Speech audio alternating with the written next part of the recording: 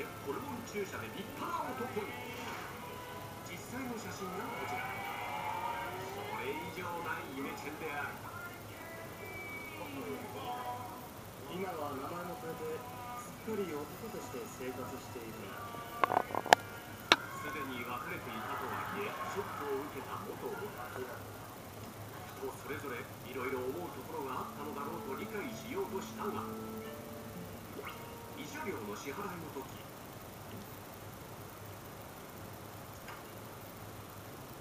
なんで慰謝料払うんだ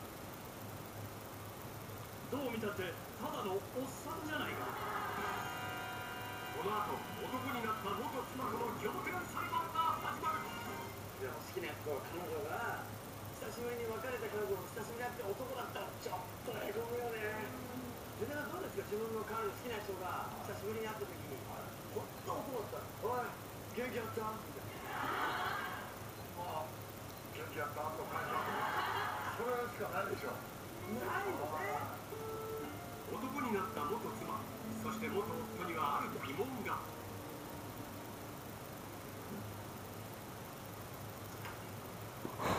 なんで慰謝料払うんだどう見たってただのおっさんじゃないか。こうして男になった元妻との前代未聞の裁判が始まる。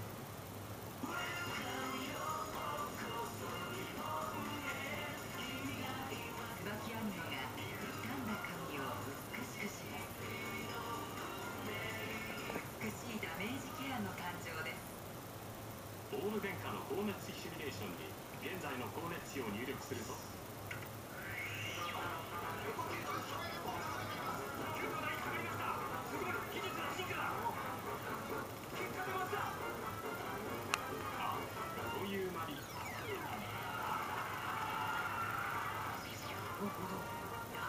オール電化でどれだけお得になるかすぐわかります